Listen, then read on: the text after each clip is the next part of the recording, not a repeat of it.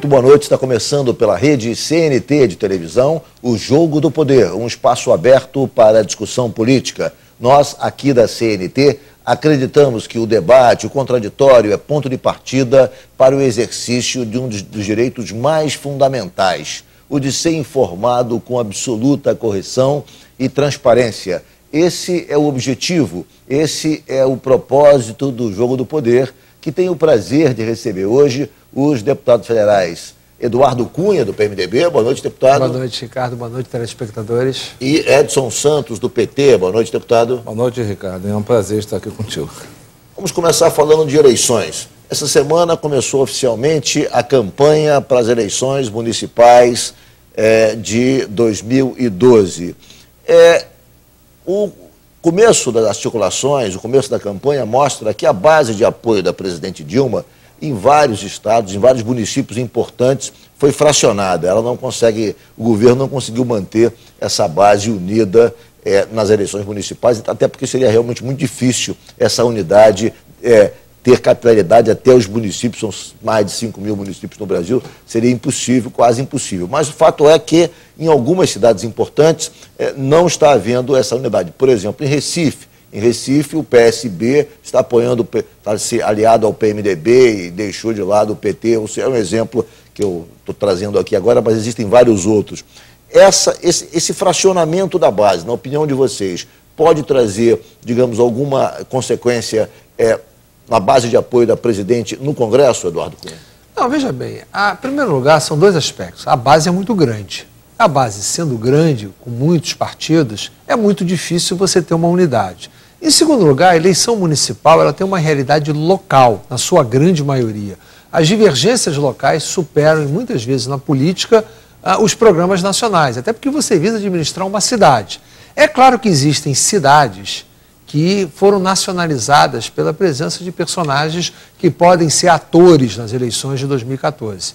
Por isso é que a mídia chamou um pouco a atenção. Mas mesmo nesse exemplo que você citou, eu não vejo nenhum problema. Na grande maioria das cidades, se houve fracionamento, não houve fracionamento. Uma parte da base ficou com uma candidatura e outra parte da base ficou com outra candidatura. Não tem um exemplo assim clássico da base estar apoiando a oposição naquilo que tem um projeto nacional. Então é uma situação distinta. Mesmo São Paulo, onde, por exemplo, alguns partidos que fazem parte da base eh, estavam apoiando o PSDB, isso foi minoritário até dentro do processo. O PMDB tem uma candidatura própria, o PT tem outra candidatura própria, uma parte da base ficou com o PMDB, a outra parte ficou com o PT. Enfim, é todo um processo que a gente precisa levar em consideração que a realidade local é que foi preponderante. Deputado Edson Santos, o senhor acredita que o acirramento da disputa eleitoral, no curso da qual sempre ocorrem acusações de lado a lado, envolvendo, nesse caso, em, algumas, é, em alguns municípios, é, partidos da base possa trazer algum tipo de consequência, um acirramento, um, um desgaste maior é, da, da, da, base de apoio e complicar em alguma medida a vida do governo no Congresso?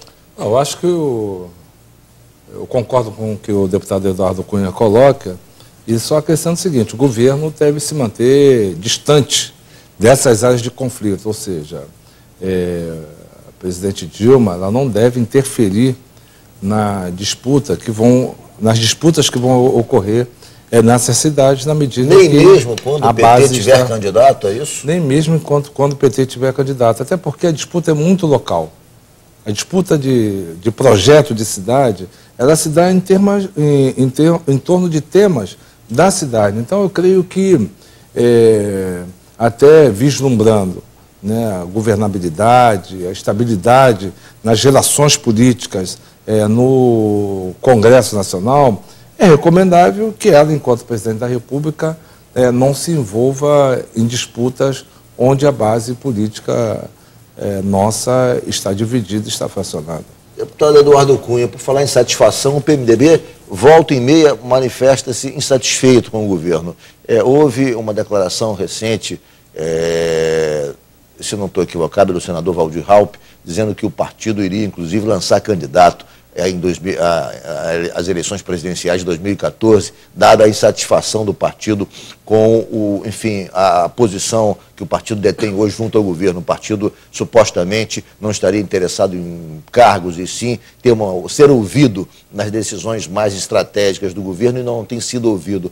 Que o senhor, que é um líder do PMDB, um importante membro da bancada do partido, como é que analisa essa insatisfação que seus pares é, manifestam vez por outra e que me parece que começa a ganhar mais corpo agora, exatamente no ano eleitoral?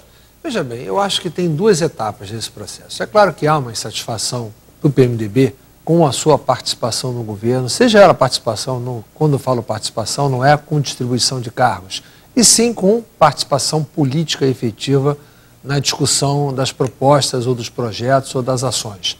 Mas eu acho que na segunda etapa, como está hoje, é, a insatisfação, ela acho que ela transcende até o próprio MDB. Eu acho que ela é de toda a base. Inclusive, eu acho até que do próprio PT. É, é, claro que o deputado Edson Santos não vai falar isso aqui, mas existe uma insatisfação latente com a forma de fazer política que, no momento, está sendo usado pelo núcleo central do governo. Eu acho que isso é um processo de, de diferenciação de governos. O presidente Lula tinha uma forma muito diferente de tratar a parte política. Ele era muito mais cuidadoso com, com, com o jogo político do que a presidenta Dilma o é.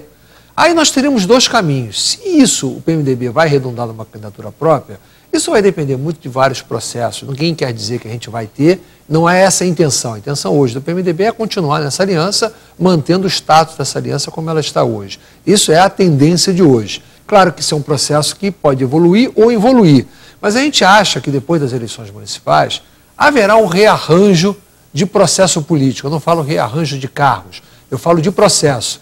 Se houver a sensibilidade da atenção política, isso pode ser corrigido. Se continuar no processo que está hoje, de distanciamento da política, como ele está sendo feito, dificilmente, não só o PMDB, como qualquer outro partido, e eu acho que nem o PT ficará satisfeito com a forma como está sendo conduzido o processo da forma política. É, parece que a satisfação é, que, dita pelo deputado Eduardo Cunha é procedente. É, há cerca de 10 dias, o presidente da Câmara, é, Marco Maia, chegou a falar, inclusive, daquela pauta que foi intitulada de pauta bomba, que seria uma pauta que provocaria, teria consequências danosas do ponto de vista financeiro ao governo, com o aumento do, do teto das enfermeiras, enfim, outras questões que trariam consequências impactantes é, no orçamento do governo federal, o que provocou, inclusive, a ida de uma tropa de choque ao Congresso. O ministro Manteiga teve uma interlocução com o presidente da Câmara, ou seja, a pauta parece que não, não, não prosseguiu a tramitação daquela pauta, mas naquele momento ficou claro que a insatisfação não era só do PMDB, a insatisfação alcançava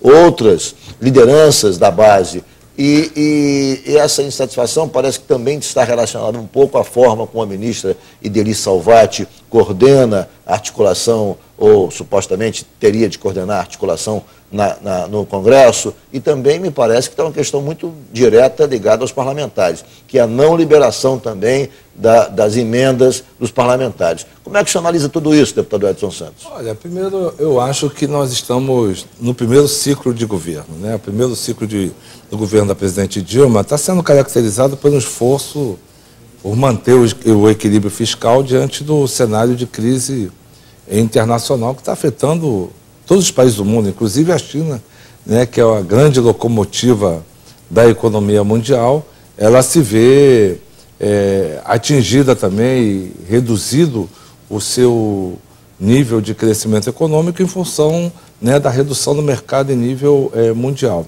Né. o foco da presidente Dilma, no meu entender, é exatamente isso, é de garantir né, que o Brasil atravesse esse período de dificuldade é, financeira é, que se dá no plano internacional, para, num segundo momento, é, poder fazer uma gestão, eu diria até com uma marca mais política de seu governo, dialogando mais intensamente né, com o Congresso Nacional. Se nós formos analisar, todos os governos, até no plano municipal, vivem essa experiência. Né?